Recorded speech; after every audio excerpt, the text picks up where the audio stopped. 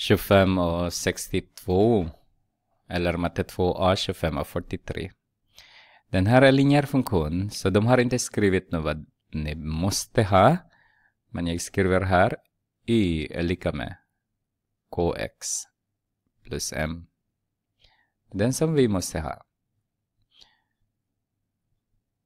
Och vi måste ha två punkter som de har skrivit här. Vi har den här punkten som är 1 och 1, 2, 3, 4. 4. Den här punkten är 2, 3, 4, 5. Och 1. Så vi har två punkter. Det första som vi kan göra är leta efter K. Och K-värde är hela tiden förändring i Y dividerat med förändring i X. Så om vi börjar med, med den här punkten, om ni vill.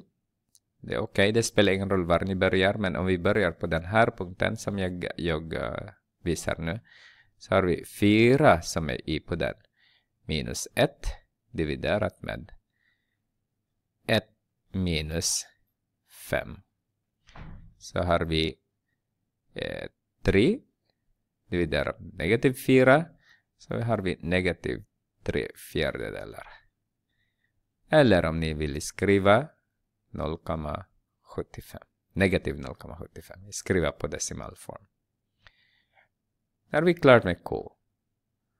Eh, om vi ska räkna ämne då, då kan vi använda vilket som. Vill ni använda den här så att ni behöver inte använda hela tiden den. Vill ni använda den här 5 och 1 så har vi y är lika med kx plus m. y på den är 1 är lika med k är negativ 0,75 multiplicerar med x är 5 plus m. Eh, 0,75 är 3,75 gånger 5 är 3,75. Så vi har negativ 3,75 plus m lika med 1. Så har vi positiv eller plus 3,75 så att den här blir 0 plus 3,75. Så har vi 4,75 plus m är lika med m. Jag ska ta bort den. Är lika med m.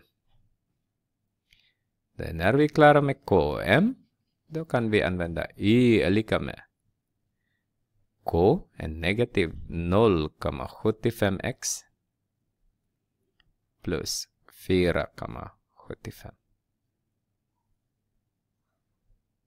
Oj. Eller y är lika med negativ n är tre fjärdedelar x plus eh, vad blir det? 19 eh, fjärdedelar. Ska vi titta om det är sant. Eh, 4 plus 3 fjärdedelar. Jag ska multiplicera det med 4. 4 där. Så att 16 dividerat med 4 är 4 ändå. Så har jag 12 plus 3, eller 16 plus 3 är 19 fjärdedelar. Ja. Det är 14 fjärdedelar. Så ni kan skriva vilket som. Eh, om det inte är exakt som jag har sagt till er, eh, då blir det exakt. Jag ska passa på att göra här lite ändringar här som jag har gjort i föregångaren. Eh, om det är inte exakt som jag sa till er, så gör, gör inte exakt. Så här är a här, är roten ur 2. Så enkelt är det. Därför roten ur 2 är inte exakt, så skriver vi som det är. 2 multiplicerar med roten ur 2 upphöjt till x då. Hela den där är, hela roten ur 2 är upphöjt till x. Så det här har jag glömt innan. Att när det inte är exakt så skriv exakt.